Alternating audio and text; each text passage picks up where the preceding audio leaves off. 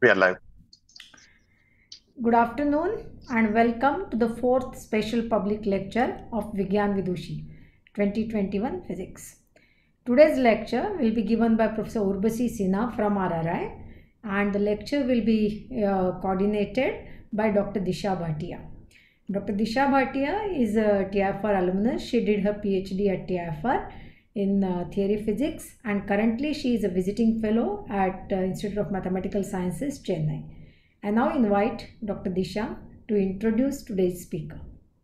Uh, okay, uh, so hello everyone. Uh, as ma'am mentioned that today uh, is the last, the fourth and the last special lecture of this year's Vigyan Vidushi edition. And we are very happy to have Professor Urbasi Sinha with us, who will be talking to us about the photonic quantum science and technology. So Professor Sinha is currently working at the Raman Research Institute, Bangalore, where she is heading the quantum information and the computing lab. She is also the associate faculty at the University of Waterloo and University of Toronto. She completed her PhD from Cambridge University, United Kingdom, where she carried out experiments related to high temperature superconductivity. She also carried out the famous triple slit experiment to verify the Born's rule during her postdoc days at University of Waterloo. So uh, her current lab at RRI specializes in experiments on photonic quantum information processing, including quantum computation and communication using single or entangled photons. She is also currently heading India's first project on satellite-based secure quantum communications. Her scientific recognitions include many, to name a few, she was awarded with the Homi Bhabha Fellowship in the year 2017. In 2018, she received the ICTP ICO Gallieno Denardo Award in Optics. She was also recognized as Asia's top 100 scientist by the Asian Scientist in the year 2019. And she has also been awarded with the Simons Emmy Noether Fellowship at the Perimeter Institute, Canada. So she has also participated in various competitions.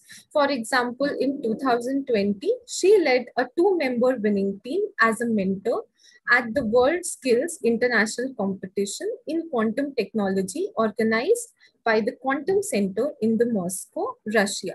She also won the Association Women in Cyber Making a Difference Award in 2021. So without uh, any further delay, we would like to now welcome Professor Sinha to kindly take over and begin with her exciting talk. So over to you, Professor Sinha. Uh, you can start. Yeah, thank you so much, uh, Disha, for this very kind introduction. Of course, uh, uh, you can hear me, right? That's usually the first thing one says nowadays. Yes. yes. okay, great. Yeah, thank you. So, first of all, I mean, you know, I would like to uh, really thank uh, the Vigyan Vidushi program for uh, inviting me to present this seminar to you uh, here today, Vandana and the rest of the people who, um, you know, invited me here. Uh, it is indeed a huge honor. And of course, uh, you know, it is somewhat a double role that one is expected to play in this while, you know, giving a seminar on one's work is something that one is used to doing. We're doing that a lot. Uh, but here I also, um, you know, uh, I'm expected to inspire some young women, some young girls to carry on with a career in science and physics or, or science in general uh, through, you know, uh, some uh, being inspired by some of the work that we have done. And this is, of course, a huge responsibility. And I do hope that over the course of the next one hour, through hearing about uh, the kind of work we do, as well as a little bit about uh, my journey as a scientist, as a woman scientist, I hope that you know at least a few people would uh, stay on in science uh, by uh, through that. Yeah. So thanks a lot for this uh, wonderful uh, opportunity. Um, as was uh, mentioned, I'm going to, of course, talk on photonic quantum science and technologies. So with that, I would like to share my screen and hope for the best. Okay. So and my screen is visible and uh, so on, right? Yeah. yeah. Great. So, uh, well, so as was mentioned, the topic is going to be on photonic quantum science and technologies, and uh, that is what I'll spend a uh, better part of the time discussing. But then, uh, given the special, uh, you know, circumstance and audience that we have, the primary audience that we have, I would like to spend a few minutes giving you a little bit of, you know, um, a snapshot of, you know, my my journey to where we are today. Um, well, when um, my, my career as a scientist? Well, of course, you know, it began as a child with a lot of curiosity for science. And essentially, uh, from the very young age, it was quite clear that uh, it is maths and science, which I really like to uh, do and study and learn about more uh, in school and so on. Um, and uh, what is very important is the kind of support that I had from my family my parents, uh, my uh, father, who was actually who's uh, no more, but then you know he was uh, he was a very he was a top ranking person in a nationalized bank so he was not a scientist. But then you know he took a lot of joy in the fact that i had this scientific curiosity and did whatever was possible uh, to maintain that to nurture that. My mother who chose to be a homemaker was you know exceptionally supportive. And there was never any uh, what should i say any uh, um, expectation from any of them that i would have any gender stereotypical roles as i grew up. So for instance i didn't do any cooking till i kind of landed up in cambridge. And uh, that was more by force because otherwise this potato pie with potato chips day in and day out may not be the best option for us. So then you learn a little bit, and so that you can um, give vent to your Indian uh, palate. And so that is how it was. So there was never any expectation. So I've been really lucky in that. Uh, I did my undergrad at Jadavpur University in Kolkata, in West Bengal. And in fact, uh, I did my physics honors there, and that is where I met my, uh, you know, future uh, life partner, Anindo, who is uh, um, also in academia. He's um, a faculty member at the Indian Institute of Science in Bangalore. And uh, that I would say is another very uh, important aspect uh, in my journey because you know we met really early, and this has played a very important role in both our lives. You know, the fact that we are both scientists and thankfully doing very different things He's a theoretical physicist. I am an experimental physicist. And so it keeps our conversations interesting. Uh, but then it also makes us understand each other's requirements as a scientist. So if I have to go at 2 a.m. to take some data, you know, in my PhD and postdoc days, I would do that. Now I'm forcing my students to do that. Whatever it is, uh, you know, it is something that he would uh, appreciate as necessary. And similarly, I would appreciate the fact that he's trying to solve a mathematical problem while he's clearly talking to me or anyone in the family, but not really paying attention as something obvious and natural. So this is actually uh, has played a very positive role uh, in uh, the you know uh, last couple of decades. I went on to do my uh, uh, master's, my natural sciences tripos in uh, University of Cambridge, and that is, uh, you know, essentially what gave the MSCI degree. I went with what is called the Nehru Chevening Scholarship. Okay, and that is something important because uh, it was a full scholarship, and uh, it was the only one given that year in physics. And I was very um, lucky to get that because otherwise, you know, it's difficult to support, you know, such a thing abroad. You know, a lot of a lot more um, resources are required for self-funding, which of course we couldn't afford. So it was uh, really good that I got that. And similarly, I went on to do my PhD also in Cambridge uh, in uh, solid state quantum devices. Okay. And there I got the Gates Cambridge Scholarship, which was also a fully funded one. And again, a very prestigious one and very important and necessary um, these things uh, made me realize that you know at the scholarship level i did not really see uh, any particular bias uh, which was gender based so it was specifically based on merit and you know how you performed in the interviews and so on uh, so the i did not really uh, feel any sort of bias was being done in these uh, choices that were being done uh, from, from my batchmates and so on uh, during this time. Okay, and uh, the solid state devices is something which uh, use Josephson junctions. And in fact, I'm told by Vandana that next week my uh, friend and, and now colleague at TIFR, Vijay, is going to give you some technical lectures on quantum technologies, which of course I hope you will follow really well. And then maybe some of what I say will make a little more sense in that uh, respect. And um, so that is what I did. And then I went on uh, to do a postdoc in soft condensed matter. So I've always had this thing of working on diverse areas, you know, not just sticking to one. So solid state quantum for my PhD, then soft condensed matter for the first postdoc in Cavendish Labs. And this was a, a, a collaboration with industry. Okay. And so this was a collaboration with the South African pulp and paper industry. And the project was on making white paper whiter okay uh, which sounds interesting uh, but then the idea is that as you make something white you add more pigment to it and then it becomes thicker so the idea was to use sol gel techniques to have thin paper also equally white and this was fascinating for me because you know it taught me how the kind of work we uh, do can be useful in um, practical scenario. And I actually went to Austria, to uh, in Graz, to their factory and did the knowledge transfer for the project that I worked on. So it gave me a flavor of industry academia interaction. And this is something really the younger people here, the who are uh, in the audience, they should take attention, take take note of. You see, it's not necessary to have just this conventional route for staying on in science, which of course I ended up taking. But then you know you can always explore scientific domain through government agencies, through industry, and, and you know, many other options exist. And they're all very interesting and exciting. Um, my second postdoc was at the Institute for Quantum Computing, which is, of course, here because I'm still an affiliate faculty there. And that is where I worked extensively on photonic quantum science and technologies, which is what I continue to work on uh, now, at least for the last 10 years. We've been focusing on that in our lab uh, at RRI. And uh, so, uh, you know, I came back to India in 2012 and started this uh, lab, which was in fact one of the first labs in India uh, focusing on photonic uh, quantum science and technologies. So far, so good. So this is essentially a snapshot of how we are, uh, how I ended up being where I am. And um, you know, having said that, it's um, it's a mix. So the question is, did I have any particular? Do I have anything particular to say about how my gender may have played a positive or negative role in this journey. And so, as I said in the beginning, in the student years, I don't think there was any uh, uh necessary uh, distinction that I faced, except that in I have worked in several labs, and there have always been one or two uh, you know people who have had obvious bias and you know uh, negative connotations for the female gender. And that, that's not just me in particular or anyone in that lab. And so that uh, those people will exist and you just don't worry about them.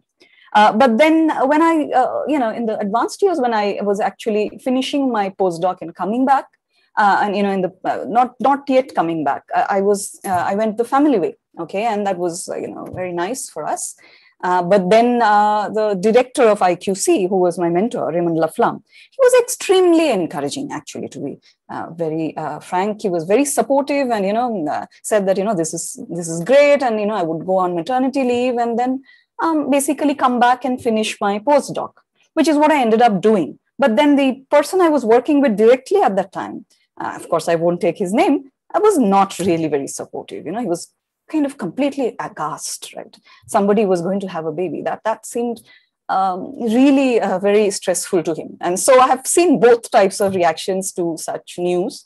Uh, but then you just go ahead with the positives, and that is what I did. And went back, finished my postdoc, and came back and joined my uh, position at RRI. Okay, and this is what, uh, of course, I will be talking to you about for the next uh, half an hour, 45 minutes about uh, our work uh, on photonic quantum science and technologies and uh, what we do. Okay, and uh, so, okay, Right. So this is the Raman Research Institute, and this is essentially this building is where our lab is located. And on a better day, in a better year, we would have many visitors. So this is the inside, you know, of, of a snapshot of different experiments as they are happening in the lab. And of course, people should, uh, you know, if you're interested in this, please do have a look at our website, which has a lot more detail, which you can absorb uh, with a bit more time and so on. So we are a quantum optics lab, which is also a class 10,000 clean room which means we have less than 10,000 dust particles per cubic foot. Okay, uh, that is what this means. And so here, smaller number means better. So usually in the environment we are in, we are in a 10 lakh environment.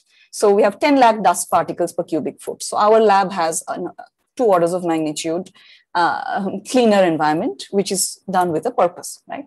And we also have plans of making a 100, class 100, which will be even cleaner for devices. But at the moment, we are focusing on uh, optics-based uh, stuff, right? And so it's a very modulated environment with precise control on temperature and, uh, and humidity, and is, of course, one of the leading labs in our country, which is dedicated to research in quantum information, computation, and communication. So uh, what is it? Um, so this is basically the website, which you can have a look at. Uh, you know, again, coming back to the uh, gender dynamics in the lab, I mean, you know, I've actually highlighted in red the people who belong to the same gender as me and, and the rest uh, don't. And so, of course, you know, this is something one has to understand that, you know, as uh, Shubhavati mentioned in her talk a few days ago, there is what we call this leaky pipeline, right? So as we go up, uh, in our uh, degrees or whatever, the number of people who belong to our gender kind of drops. And that is something which we discussed in her uh, talk last uh, week.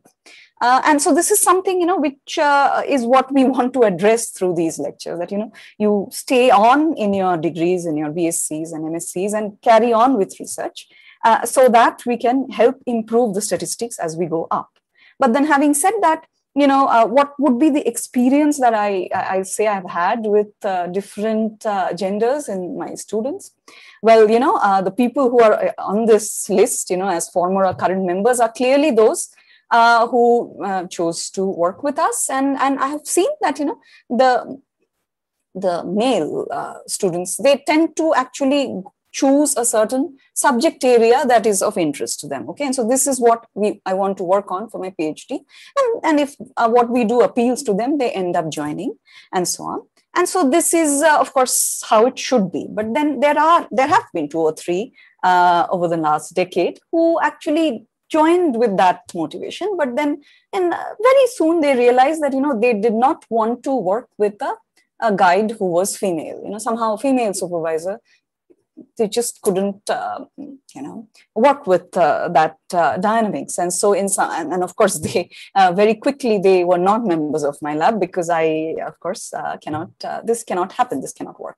So they are not there. But then you know this can happen Uh, and something that a student should be consciously avoiding. Because you know the idea is to choose your science uh, choose the science that you want to investigate you should bear in mind that uh, there is no correlation between um, a good scientist and any gender. And of course, that is what we are trying to establish through this program here, right?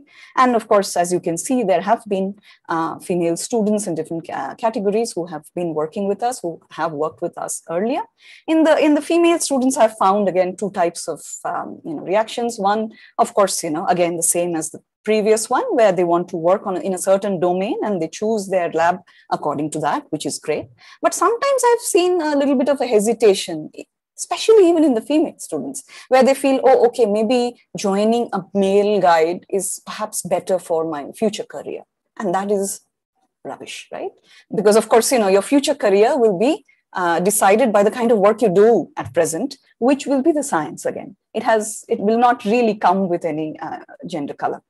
So then uh, that uh, is something, again, you should definitely not suffer from, especially the young female students who are part of this Vigyan Vidushi program. Uh, you should definitely not have that at all in your mind because it doesn't make any sense, right? So this is our uh, lab, um, uh, you know, people. And, and okay, so now going on to the, uh, you know, the, the topics that we are working on in, in photonic domain. Uh, one of the key areas that is of real interest to us is you know fundamental tests of various principles uh, uh, specifically in the quantum domain. So tests of various principles tests of various uh, you know theorems and so on in uh, both theory and experiment. And so this is very important because you know one good example is as you can see our theoretical understanding of the universe is very incomplete. So we don't understand more than 80% of what the universe is made of so obviously, you know, a small, uh, you know, so understanding things precisely will have big ramifications overall in the big picture. And in fact, if I understand things at a foundational level, at a fundamental level better, I would be able to apply it better to the technology that I want to work on next. And so, you know, for instance, the two technologies which we are working on are quantum computing and quantum cryptography. Okay. Whereas quantum computing is, uh, uh, of course, a very important research directions. And these are computers which use the laws of quantum mechanics to work. And uh, they are able to solve certain classes of problems for which uh, there is no efficient classical algorithm. Okay. And uh, there are also some solutions which will be exponentially faster than what is possible in classical computing. And this category actually has many more uh, takers than the first one. Uh, that you know we know exactly which algorithms will work way faster than classical, and it's going to revolutionize uh, computing as well as, of course, several branches of science.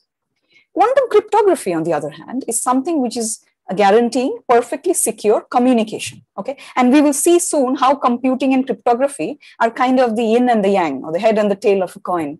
And, and that is what is very interesting because we're working in both these areas. And I, I, I understand that next week you will have some technical lectures on the uh, basic principles of these topics. Yeah.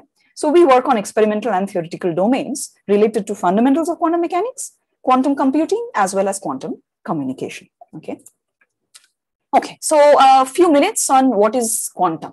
Yeah, because of course I know that we have a very young audience. So, uh, and this is a very safe quote by Richard Feynman, who was a Nobel laureate. Uh, I think I can safely say that nobody understands quantum mechanics, is what he said in 1965.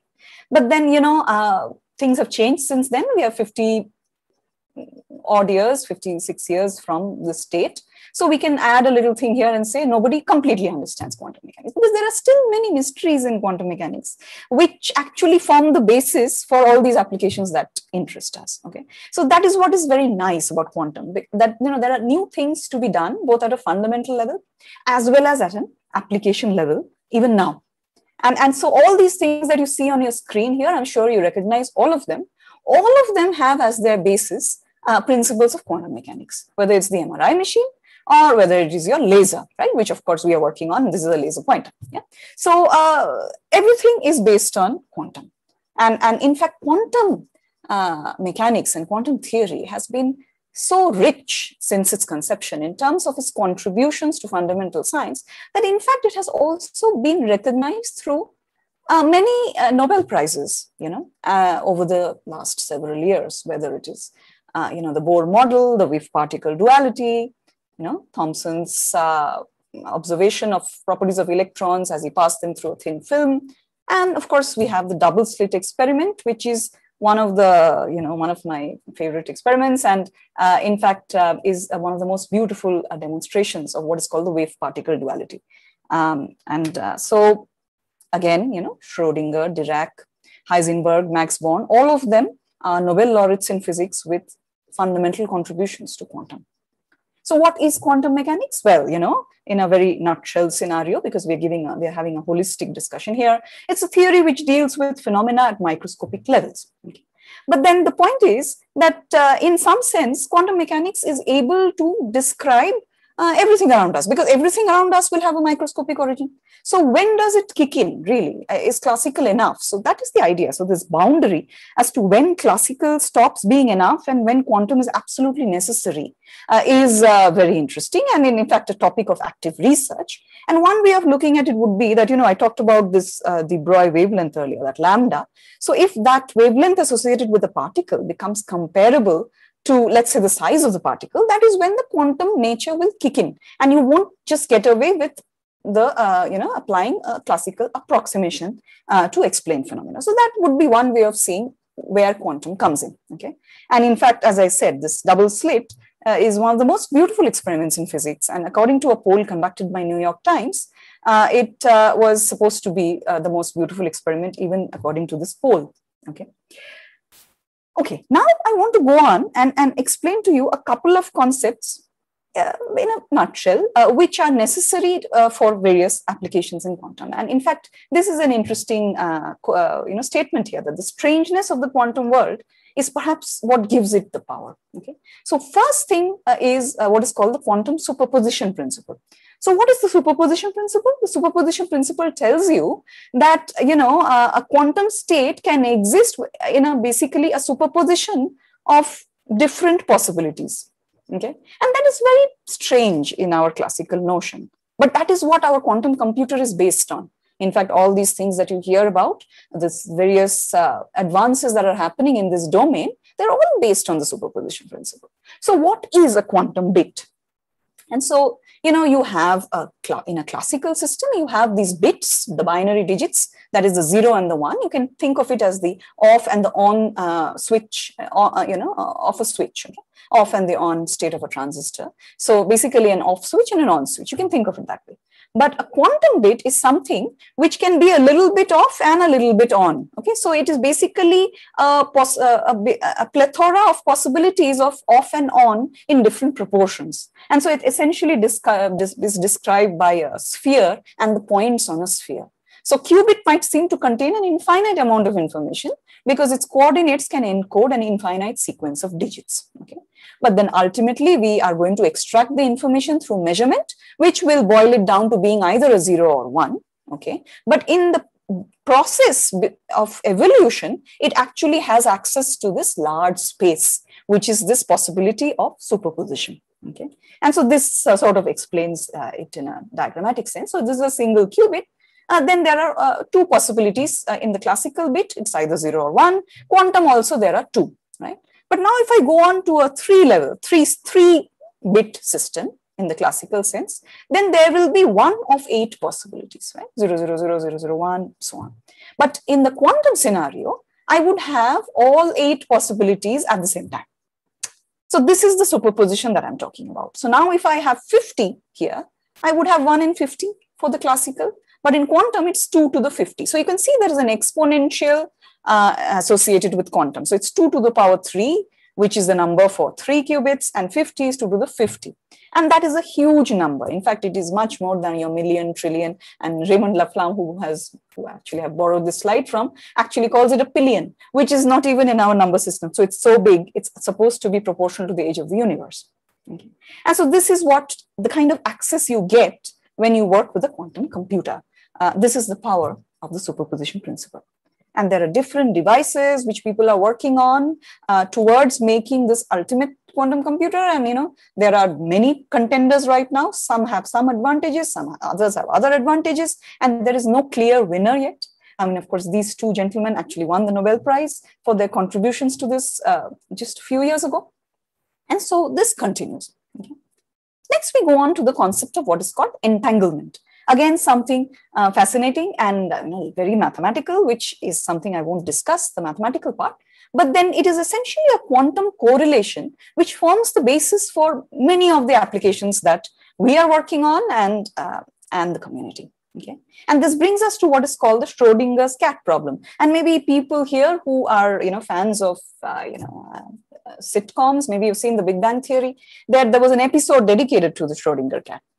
Okay, so what is the Schrodinger cat? So Schrodinger cat is essentially, I mean, you know, there is a cat, he's sitting inside a box, and there is a, you know, um, a, a vial there which is full of uh, this radioactive particles. Okay, and so essentially there's a poison. So this this poison gas kind of thing is there, and so if the cat actually has this poison, then a radioactive particle is emitted from the box. And if he doesn't have it, then it's not. Okay. So uh, to understand this, so essentially the idea is that if there is a poison gas release, then there is a alpha particle which is uh, emitted. And if there is no release, then it's not. So essentially, the state of the cat, and of course, if the cat has the poison, he dies. That's the idea. So if the cat is alive, that means the alpha particle is inside the uh, box. And if the cat is uh, dead, then the alpha particle has been emitted. So you see, without actually uh, uh, doing any measurement, a cat could be in a state of being dead or alive here, right? So you don't know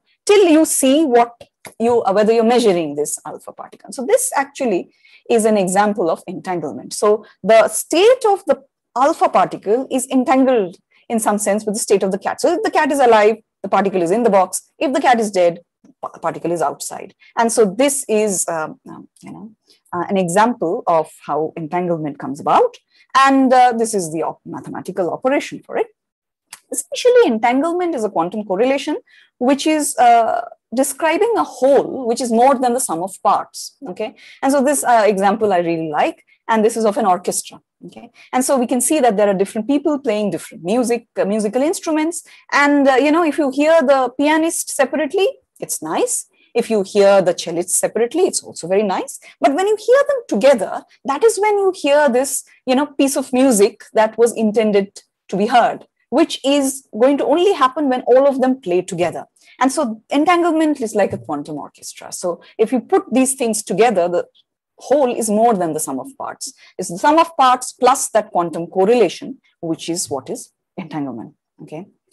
So our current areas of focus are manufacturing different types of photon sources because we are working on using a single photon as the quantum uh, particle, which of course we manipulate for various purposes, and then you know applying them to these different uh, domains. Okay. And, and if you wanted to have a, more of an idea about photon sources, you can actually take a look at this review that I wrote with my students, which gives you an overview of different types of photon sources uh, that are possible. If there is time, I'll play a video at the end on photon sources. Uh, but then for now, I'll uh, move on and then just tell you that essentially it's a nonlinear optics process that we are using in the lab, whereby you know the photons they come out in the shape of cones and, and these points that you see, or this line that you see, this intersection point is where you do not know whether the photon belongs to this cone or this cone. And so essentially, this is the entangled state. Okay. So if the first photon belongs to the right, the second one belongs to the left. And if the first one belongs to the left, the second belongs to the right. Uh, and that is how you form this HV plus VH state. Okay. And so this is how we harness entanglement. Going on to our various, um, you know, explorations, as I just mentioned earlier, we are very, very interested in different types of fundamental tests of quantum mechanics. And so this is a series of work that we have done in theory and experiment. This is our experiment in an open field. So this is a precision experiment on an open field that we managed to do, uh, whereby we have shown that a correction term is necessary to the superposition principle uh, when applied to interference experiments. So this is something which uh, wasn't, uh, you know, uh, calculated before, nor was it experimentally demonstrated before. So we performed the first uh, experiment in the, you know, in this microwave domain where we showed the presence of this correction term. Okay. This is an example of an experiment we did in fundamental quantum optics. And so this dip here, it is called the Hong-Ou Mandel dip. Okay, and this is named after three people, Hong, Ou, and Mandel. And uh, this is supposed to be a signature of the quantum nature. And I won't get into the details of how and why. But then what we ended up showing is that we can have a similar dip with 100% visibility, even using classical light with uh, phase control. And so this is one of the, you know, uh, very fundamental experiments that we have done where we have shown that Hong-Ou Mandel is not enough to uh, tell you about the nature of the light that you're probing, you have to go to what is called complementarity in order to do that. And so um, that is a detail. Okay. Entanglement is something we study a lot in the lab. This is an example of an entangled photon source, which is sitting, which we have, uh, you know, uh, aligned on our optical table. And, and the experiment that you're looking at here is what is called studies of entanglement sudden death. Okay. And it sounds daunting, and in fact it is in that sense. So you know what, what is sudden death? You talk about a healthy individual and suddenly the person is no more. That is called sudden death in, in, in biology. And when entanglement you know it interacts with the environment suddenly it becomes zero okay because of this interaction. And that is called entanglement sudden death. And of course that is something which we really do not want in our applications because we want to hold on to that correlation for longer. And so we have come up with our own scheme, both theory and experiment, where we have shown how to manipulate the sudden death so that it either happens later or doesn't happen at all. Okay? And so this is the experiment that you see here. Another genre of experiments which is really fascinating to us is what is called generalized measurements or weak measurements. And there's nothing weak about them, uh, you know, in that sense. It's just that the interaction that we are probing is weak. In fact, I've had a few students come and say, oh, you know, I don't want to work on this topic because it says weak. That is a very weak argument. Uh, weak measurements is actually a very powerful tool uh, which has been uh, in the business for the last few years experimentally. Of course, theoretically, it's been there for a long time. But we can use this, you know, uh, in a statistical ensemble sense to probe what is happening to a system between preparation and measurement. So you have you prepare a quantum system, and then it evolves right under some Hamiltonian, and then you measure. So what you're told is that if you do something in between, then you are going to change things, right? And then you will never measure what you intended to measure. Like for instance, in your double slit experiment, if you see the photon, then you don't get the interference. If you don't see the photon, you get the interference. So all this you know, and this is what is the conventional strong measurement approach. But if I weakly interact uh, with a pointer state with the system as it is evolving, then actually I'm able to gather information uh, through a statistical ensemble. And this is what is called weak measurements. And in fact, I wanted to walk you through a little uh, example of a wonderful experiment that we have just concluded in the lab, which is on what is called the quantum Cheshire cat. Okay. And so what is a quantum Cheshire cat? Now, of course, you know, people who are fairy tale fans, and I have been a big time one, uh, would know of Alice in Wonderland. Now, here we talk about Alice in Quantum Land. So, what is uh, Alice in Quantum Land? You know, Alice in Wonderland had this famous uh, character.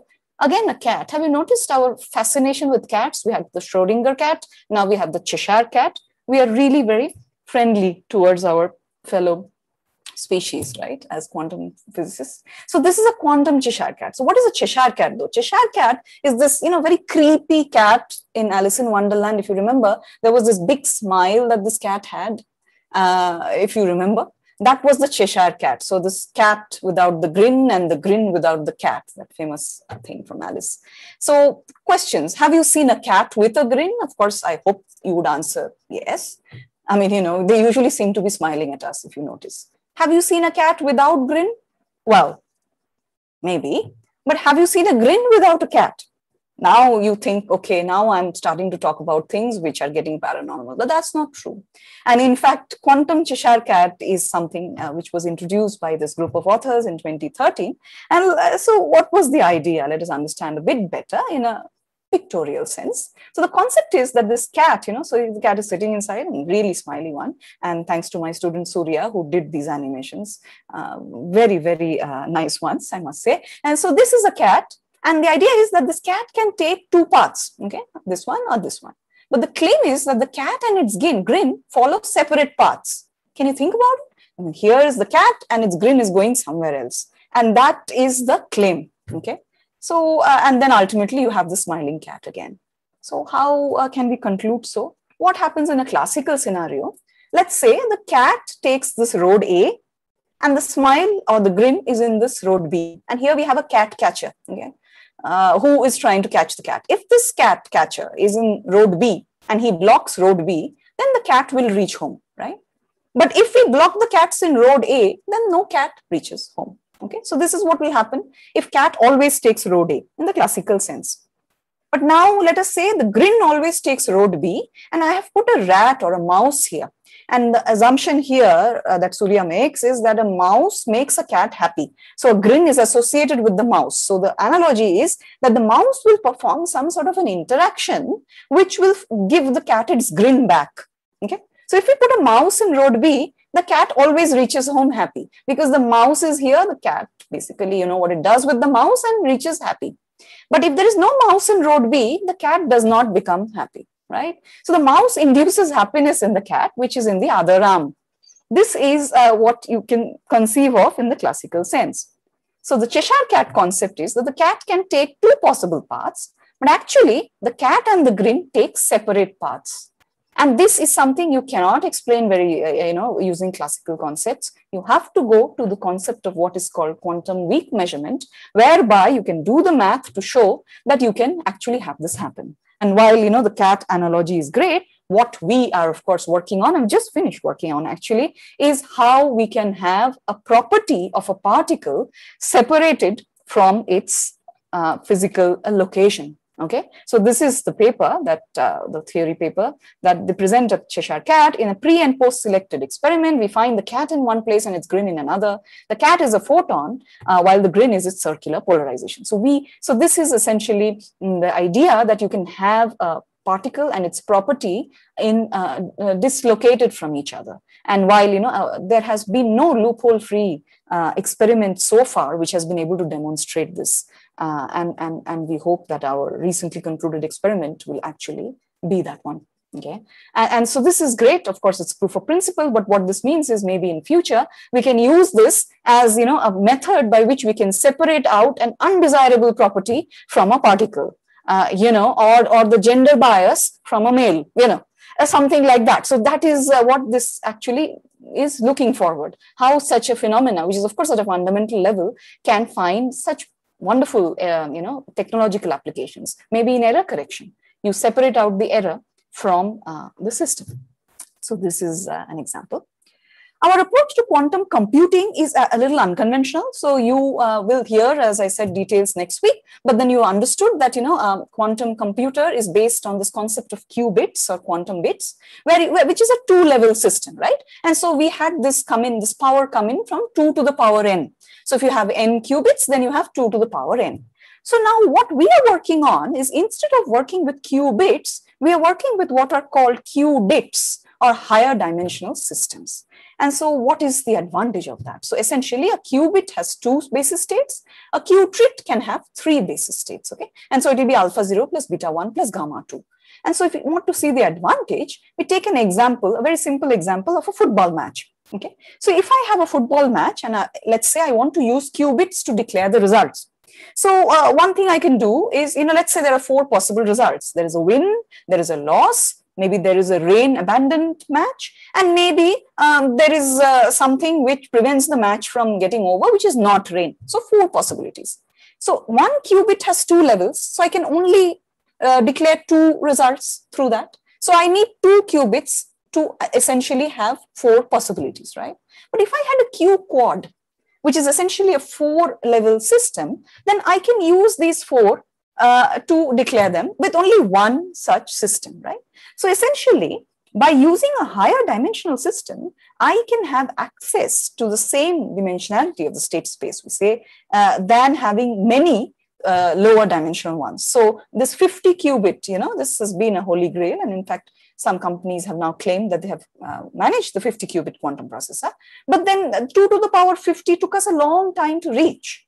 That is because you see, qubits don't like to um, you know, be put together beyond a It's almost like human beings, right? If there are a few of us in a room, we are okay. We have our space. But if you keep putting more and more in the same room, then we're getting into each other's space. And that leads to lack of coherence. And in the quantum computing scenario, it's called decoherence. And that is what leads to uh, the loss of superposition. And so that is why it's difficult to put more and more uh, in a coherent superposition. That is where the higher dimensional system can come in because we need less of them. So 2 cubed is 8, 3 squared is 9. And so essentially 2 qutrits and 3 qubits uh, can achieve a similar uh, dimensionality. And so this is the whole uh, domain of higher dimensional systems, which is what we're working on. And we have done a lot of work here uh, in terms of, you know, setting up an architecture in the lab where we have two nearly maximally entangled qubits using our own uh, developed technique called pump beam modulation, which I will uh, not attempt to explain in detail. But the idea is that by using aperture systems and modulating the pump beam in the down conversion process, which is the nonlinear optics process, I can actually create a pair of qubits which carry the properties of the pump. So if I have now modulated my pump beam spatial uh, domain with this, uh, you know, three slit, let's say, architecture, then my two daughter photons, as we call them, will also carry forth this architecture. So this is how it looks in the lab. Okay. And so this is the idea. The pump profile can be transferred to the daughter photons faithfully. So this is the pump and these are the uh, daughter photons, which are this uh, two qubits that I'm talking about. Okay. And so this is what we have. We have beautiful correlation between these qubits. And in recent work, so, you know, earlier we had managed to show this architecture and this wonderful correlation that the qubits share. But now we have gone on to actually devise new methods of uh, uh, measuring the amount of entanglement that is there in this architecture. And in fact, this is using a record low number of measurements, uh, uh, avoiding the, you know, the conventional route. And, and, and so we're very happy with this new results, uh, which are here, where we have been able to come up with this measure and also show it experimentally. Okay, and so this is the in, uh, interference graph. So the idea is that we have these results and we have been able to show a first direct measurement of what we call an entanglement monotone. Okay, I won't get into the details, but then a direct measurement has not been done before. Uh, people usually derive them through uh, other measurements which are done and then construct, reconstruct them. So we have done a direct measurement and also uh, demonstrated that they are not quite equivalent, which has a lot of ramifications. Okay. And we are working on uh, quantum computing architectures now using this approach and also uh, various QIP protocols, both in communication and computing using these higher uh, dimensions. Okay. Uh, and in fact, uh, for the for the young people, if you wanted to have an overview, then this is an invited article that I wrote in the Scientific American, uh, which kind of gives you an overview of this uh, domain of work that we are pursuing. Okay. Okay. Another thing we have done very recently, which we are very happy about, is uh, come up with a new technique for estimating the quantum state and, and uh, this is based on interference, something completely different from the convention. So in order to give you a flavor of the convention, I have this daunting slide here. And if for people who know, this is actually, uh, you know, different projections of a CT scan. And unfortunately, currently the CT scan is too much in the news, right? It's supposed to be the definitive test for the thing that is plaguing uh, society right now. But then having said that, how does it work? So, you know, the idea is that if you're doing a CT scan of the lungs or the brain, you don't directly uh, have an invasive measurement. You take different projections of the organ and then reconstruct the image. That is what is called tomography. Okay. And so this is the basis for the CT scan. And same thing we do for a quantum state also.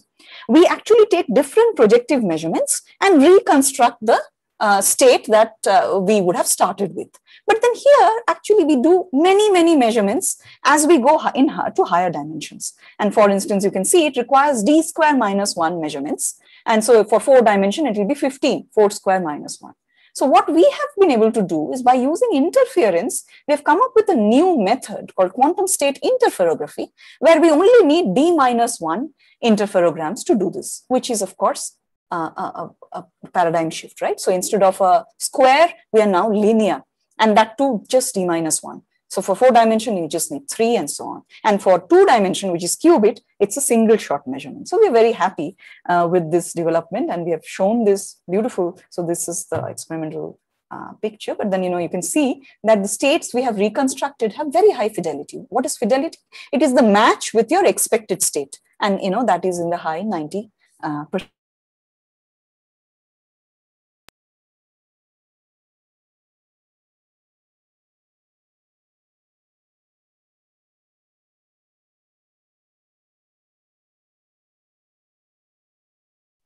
going on to uh, the last topic that I wanted to introduce you to in this rather um, brief overview, uh, which of course we are very highly invested in as a lab, is quantum communication. Okay, quantum communication. In fact, the uh, quantum aspect boils down to being the key distribution problem. Is perhaps the most quote unquote practical quantum technology. Okay, and why you should worry about it? Well, you should. I mean, you know, these are all things, whether you're purchasing something using a credit card or online banking or voting, you know, or uh, people in the defense who are securing, keeping our borders secure. All of them, all these are examples of communication which require some level of security, right? So these are all examples where you don't want the information to reach a, an unwanted party. You don't want your banking details to reach someone who would, uh, you know, uh, quickly change it uh, and suddenly you have nothing left. You don't want that. So these are strategic communications. At the moment, the way this is being kept secure is through what is called classical cryptography. So essentially you have some information. It is encrypted using what is called a key. Okay. And then the receiver also has a copy of this key, which he or she uses to decrypt. And then that way your information transfer is secure. That is classical.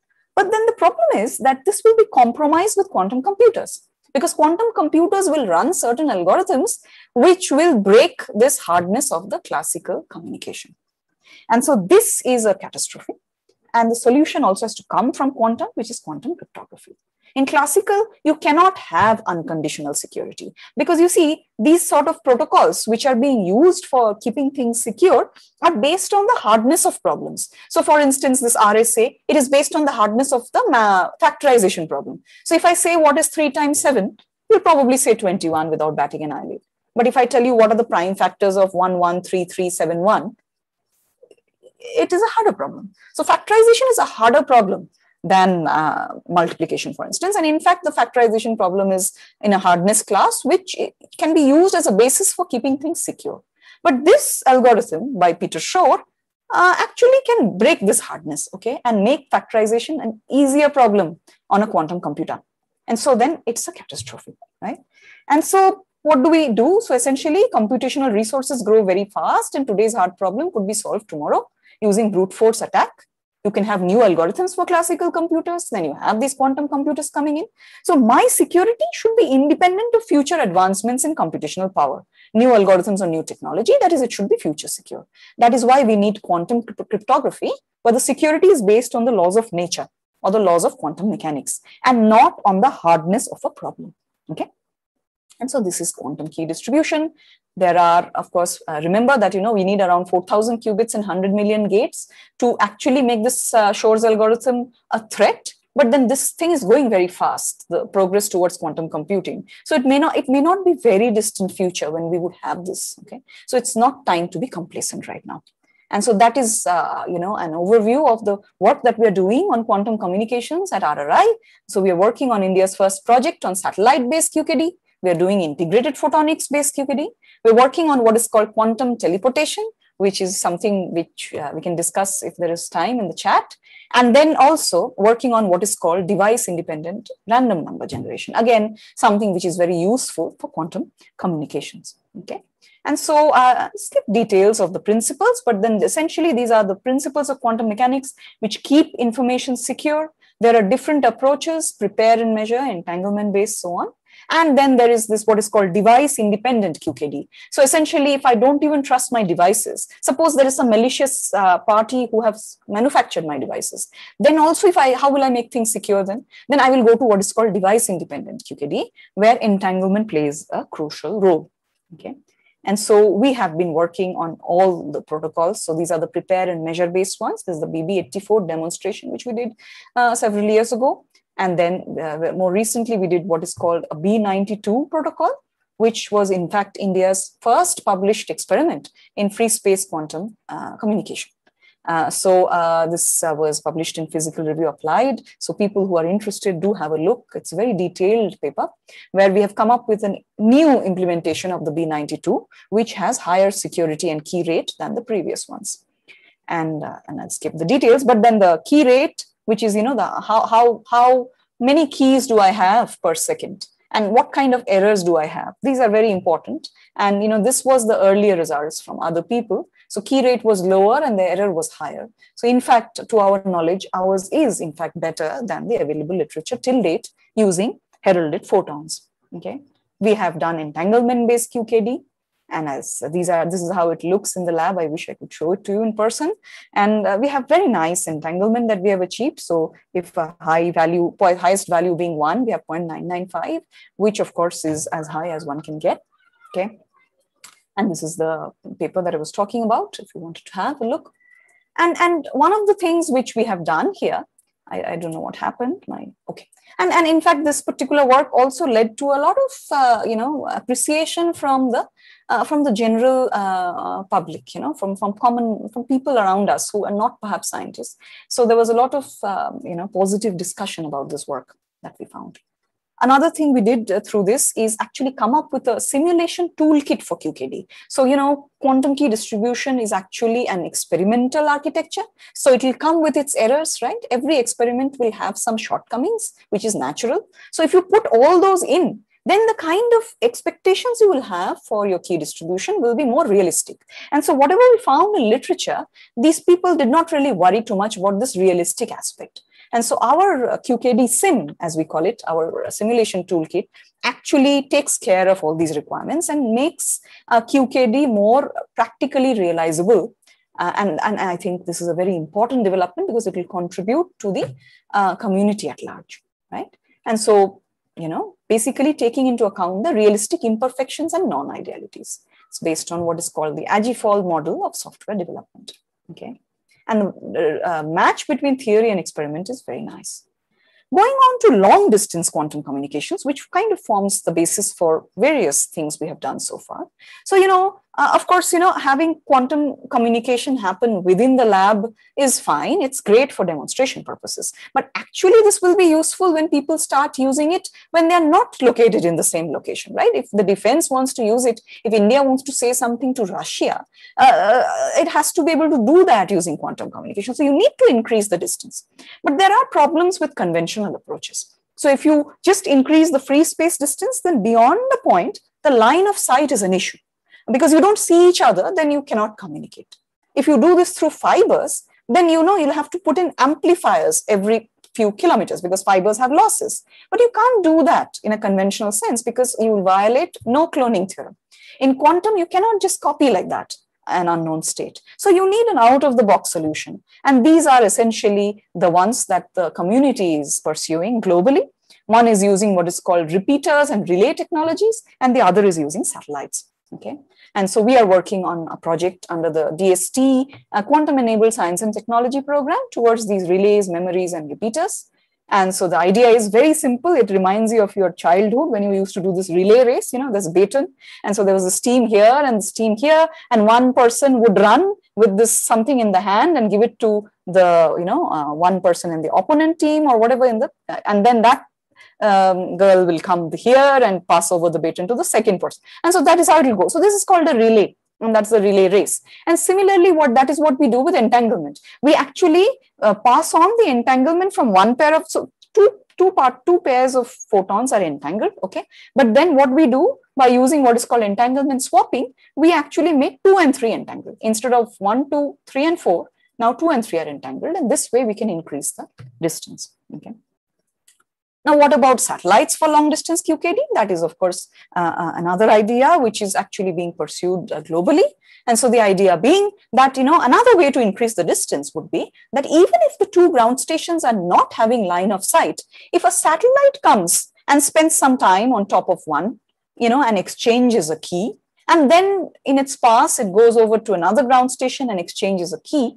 Then by performing certain operations, these two ground stations, which are in no way uh, connected with each other through line of sight, are connected through a quantum link.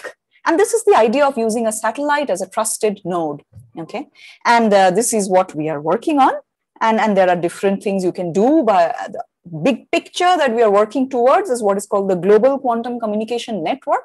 So here you have the satellite which is actually you know maybe able to have a quantum link enables between several thousands of kilometers. But then again this local node is connected to different service providers uh, through say fiber network. So combination of fiber and satellite will lead to this global quantum communication network or the quantum internet. And that is what our lab is working on which is essentially, uh, you know, if hopefully in my lifetime, we will see that this is something where many countries are connected by and, and uh, we have secure communication uh, between countries uh, through a network.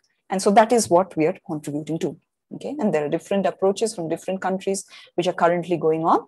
And here I would like to uh, pause and, and show you a video on this particular experiment. Um, so I hope that it would work as it worked in the demo sessions. So stop sharing. And you're still with me, right? Because of course, you know. Uh, yes, ma'am. yeah, thanks. So let me just do what we did earlier and hope for the best. So can you please tell me uh, uh, if you are able to see uh, something on your screen which is gray? Uh, yes, we can see something. Uh, can you hear? This is to inform Did you hear anything? Yes, ma'am, we can. Okay, great. Thanks. Yeah.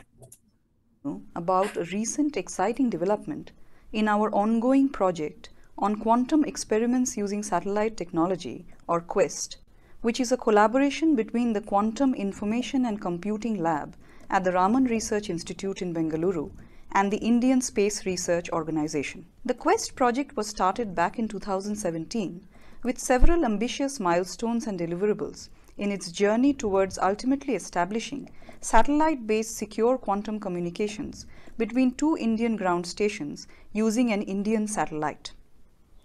The recent most exciting breakthrough that has now been achieved by the project is the successful demonstration of entanglement based quantum key distribution in free space between two buildings at RRI across an atmospheric free space channel. This is India's first reported free space quantum key distribution experiment which connects two buildings using an atmospheric channel. Here we see the live alignment of the experiment as it happens within the lab. This is a shot of our entangled photon source, which is following the Sagnac based geometry. Our entangled source actually has a very high fidelity of around 99%. The experiment is done at night time so that we can capture the actual photons. Now we take a walk outside the lab where we see the Bob substation for the free space experiment. Here we have a view of the full link with both Alice and Bob who are currently separated by around 50 meters. This forms our free space atmospheric channel. Here we see my student aligning the telescope and how the alignment laser looks in a dark night.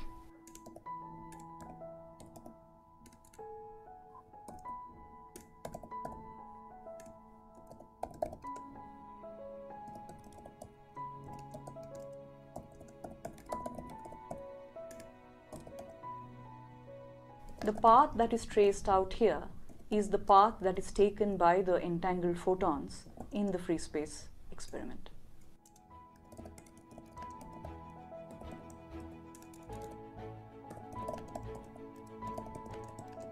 Now we go on to the technical details. Here we see the schematic of the BBM92 protocol which has been established in our lab. We have the ALICE setup, the BOB setup and the Sagnac uh, based entangled photon source. Here we have a snapshot of the in-lab entanglement based QKD protocol results. We have very good key rate of around 160 to 65 kilobits per second and the error rate has been curtailed to 11% to keep it within the information theoretic security threshold. Here we have the first preliminary results for the free space atmospheric channel entanglement based QKD protocol where we already have a key rate of greater than 1 kilobit per second and again an error rate which is curtailed to the information theoretic security threshold of 11%. Here, one of the notable ones is the establishment of the first free space QKD experiment within the lab using a prepare and measure based protocol, which was a variant of the B92 protocol, and it was published in Physical Review Applied last year. Going on to the acknowledgements, we would like to acknowledge the Indian Space Research Organization for their support, the project team members at RRI for their dedication, hard work, and motivation, the project review board members, the project management board, the EEG, MES, and ENB section at RRI, as well as the administration for their support. We also thank Professor Avinash Deshpande for his support and advice in resolving critical issues related to time synchronization. Thank you. Okay, so I hope uh, you could hear that. I'll, I just want to, um, I will finish uh, now with going back to my presentation. Right. So as I, I mean, I just wanted to give you a flavor of how things work, you know, in the lab and how we are doing this free space experiment, which we are very excited by. And so this is, uh, of course, the project, and this is how it looks. You know, these are the various buildings at RRI, uh, between which we, this is our little ground station, and um, here you have the Alice and the Bob and the link that we just saw. Okay, we just discussed that in the video. Uh, and in fact, even, you know, uh, here also we have been very, uh, you know, what should I say, uh, grateful to uh, people for their interest that they showed uh, in these results that we had for the first free space demonstration of entanglement-based QKD in India.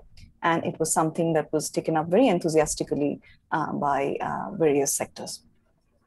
So this is, uh, you know, how we did the experiment because we have been precisely doing this for now one and a half years, and hopefully it'll end soon. But not our enthusiasm uh, is not masked, is what we believe. And uh, yeah, this, this, these developments in the quantum communication, you know, the, the, the QKD um, experiment as well as the toolkit, they were, they were really uh, much appreciated. So in fact, the DST, they came up with the 20 major success stories of DST in 2020. And uh, we were featured there for both our work in quantum communication as well as our quantum state estimation protocol, which is quantum state interferography. And uh, this experiment was done in collaboration with HRI Allahabad. And I discussed this with you earlier. Uh, even the Vigyan Prasar, you know, which is in collaboration with India Science. Maybe uh, this is something, you know, the young people should definitely follow. This is our uh, science channel. India actually has a science channel called India Science, and they, they cover very interesting science news, um, you know, weekly. So you should definitely have a look at that. And so they actually had uh, this, again, a top 10 uh, inventions or, you know, uh, for Indian science in 2020, and uh, our work uh, also featured them. Yeah? And of course, you know, one of the recent things which uh, is is very nice is this recognition for from ASSOCHAM for you know making whatever difference in the cyber sector. Okay, uh, while uh, this is great, you know, we, um, I mean, you know, this, uh, I hope you got an overview of the uh, different activities that we are working on and, and various projects that we are leading. Uh, and some of them actually are beyond just small project, right? So this is involving uh, collaborations and, and having um, a scope as well as resource uh, as well as expectation, which is beyond uh, uh, the smaller projects that we're working on. And so this is very nice. But then, of course, you know, what uh, this particular thing again uh, tells me that we would like to actually move to a situation where, you know, this is what we would have, you know, some, some recognition for essentially uh, the topic, not necessarily for being of a certain gender making a difference to that topic. But then at the moment, we do need uh, such avenues for various you know sectors because we do need to encourage uh, women to uh, continue in science and and and also excel.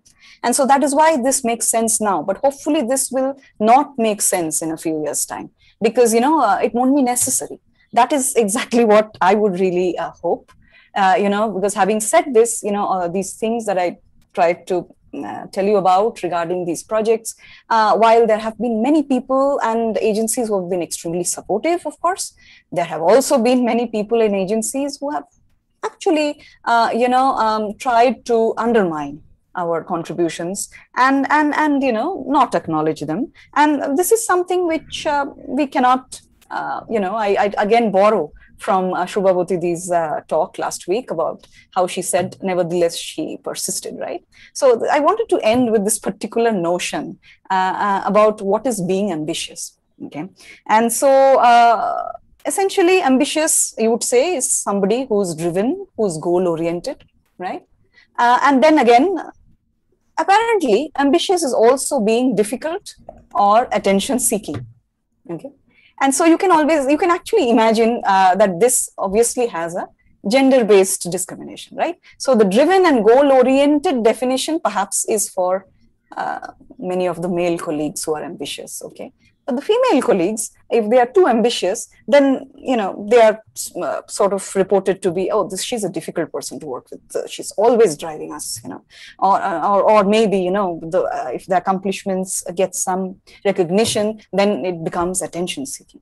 So uh, this is something that we actually do have this sort of uh, discrimination, even in the category of being ambitious.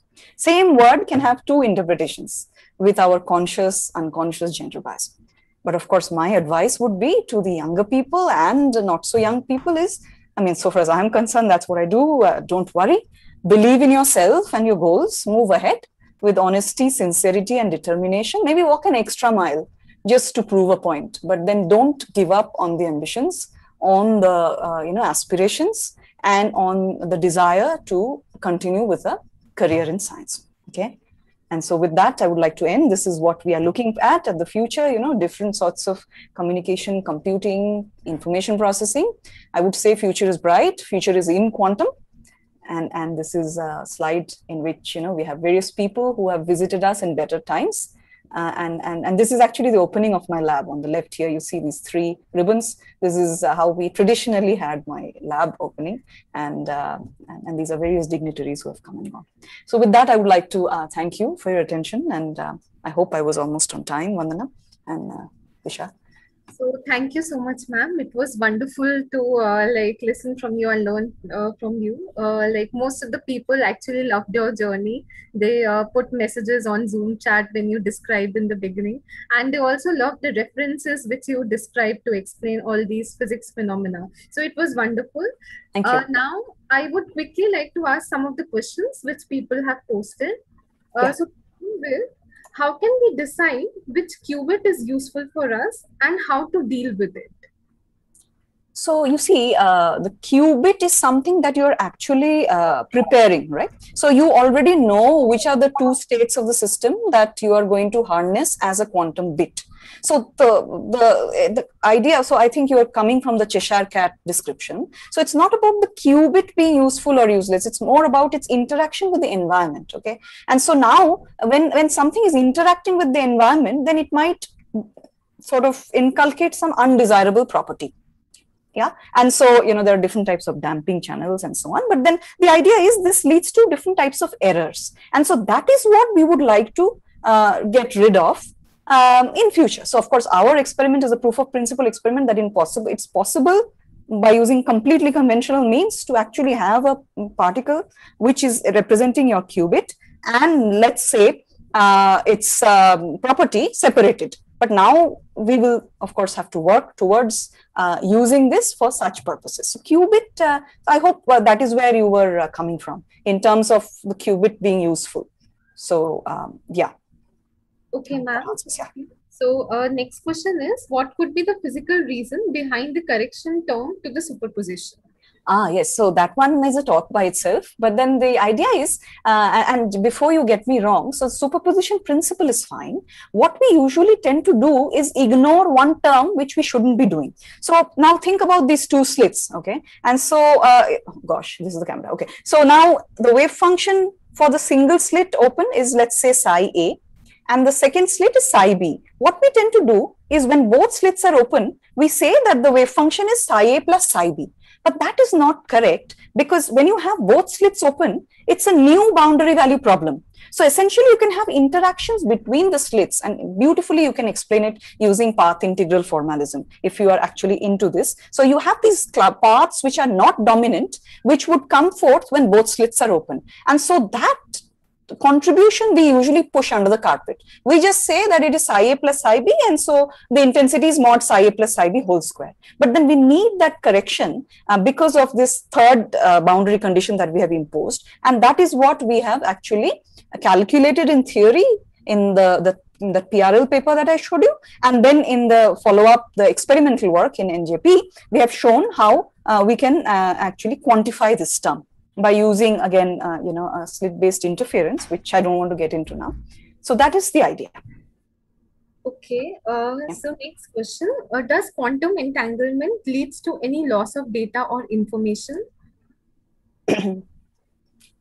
No, um, I, am not sure of the context here. So quantum entanglement is a, a correlation that is shared by uh, conventionally, let's say two particles, but it could be multi-party also. Uh, that's a different story. So it's a correlation that is shared uh, between, let's say, two particles for this argument. And uh, there is no uh, relation of this with loss of data. What it can do is actually enable secure data transfer. So it's quite the opposite. So um, maybe this question one needs to understand better where the you know the query is coming from because there is no correlation between loss of data here so entanglement is a correlation which is used as a resource for keeping data secure you know in for instance the protocol that i showed you uh, bbm 92 which is based on using entanglement as a resource so there is no uh, inherent uh, relationship between these two phenomena Yeah. Okay, ma'am. Uh, so next question is, uh, what do you mean by a pure state? Ah, uh, okay. So that I I don't know whether I can do. Okay, so maybe I should just do it without writing anything. But then the idea is that you know when you have um, a state, uh, so essentially you uh, a pure state is a state which does not have these uh, essentially any um, um, decoherence term. So how do I explain this? So uh, psi, you know, the ket psi that we say, that is a pure state. So you can actually write it down as a state. But if you have a mixed state, so okay, in the terms of the Bloch sphere, that is the best thing that you could do here. So the states which basically are in the in, in inner part of the sphere. Okay, so the states which are on top of the sphere, those would be the pure states, and the states which are in the inner part, those are the mixed states. So the mixed states are those which require density matrices to actually uh, represent them. You, you can't write it as a psi. So it is actually a ket psi, bra psi. Uh, and that is a, a, a, mixed state. So a mixed state is something which uh, has a purity less than one. And that is why, you know, you are talking about this uh, portion, which is not on the uh, top in that sense. So that is the best we can do in the current uh, scenario without starting to write down the form and all, which I would perhaps avoid. Okay, uh, yeah. So, ma'am, I'll now just ask one last question since the time is uh, like uh, going on. So, uh, so how do we adopt satellite-based uh, QKD for long-haul communication? Satellite has less uh, covering range. So, somebody has commented. Uh, Saturn so the, how do we do satellite based communication if it has less covering range so what was so can you repeat that once? Yeah, yeah, yeah that's the question. So uh, so uh, the comment is that uh, it has less covering range. So how do you do it for uh, like uh, long covering uh, communication?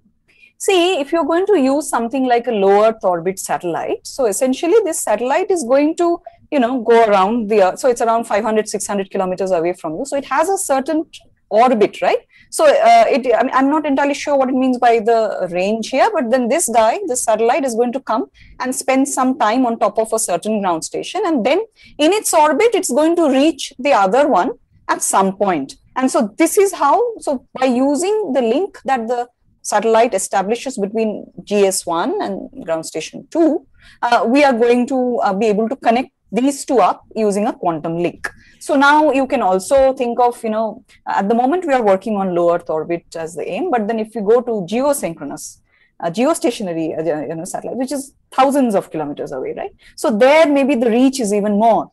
So essentially, uh, think about it. If you want to send something from the satellite, then yes, you cannot send it beyond a certain uh, distance. Maybe that is where you're coming from. But then if you send something towards the satellite, then that is not an issue.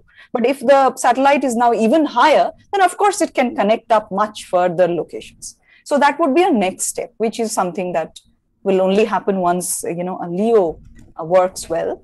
Because if there's only one successful satellite QKD experiment globally so far, which is the one from China. And so all the, uh, you know, other efforts are currently in different stages of development. was that oh, i yeah, hope that answered uh, yeah so thank you so much uh, uh, it was really a wonderful talk and you can see it from many many comments and uh, appreciating both the way you you mixed up the personal story and making it really very motivational and giving us a flavor of the most uh, interesting uh, physics that you are doing i'm sure all of them are uh, inspired uh, about it and we hope some of them will be pursuing this field in the coming years. Absolutely. I also take this opportunity to thank Disha for conducting the lecture. And we are really sorry that because the time is advanced, we couldn't take all the questions. But as always, we are no, keeping the track of the questions and we will uh, forward them to the speaker. She can answer them at leisure and we will uh, put this back to you on the Moodle discussion and I she her actually web page address is already there in the special lecture brochures. We will also share her email with you. So thank you all for joining us today for this uh, wonderful lecture. And uh, also our thanks to all our YouTube viewers also. And just want to remind you that for the VV participants in the Zoom room there is a informal session at 6 o'clock. So we hope to see you back after the break. And that's